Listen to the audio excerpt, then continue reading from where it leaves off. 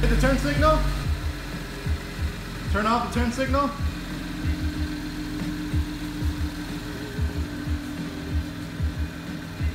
Uh, press the hazard. Turn it off. Cool, and shut off the car.